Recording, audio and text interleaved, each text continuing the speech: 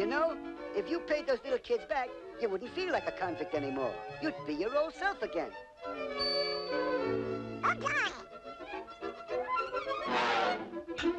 Even if you do have to work all night, remember, every dish wash is money in the bank. Dollar, dollar ten, dollar fifteen, dollar twenty, dollar thirty. There. You put it all back and a nickel besides.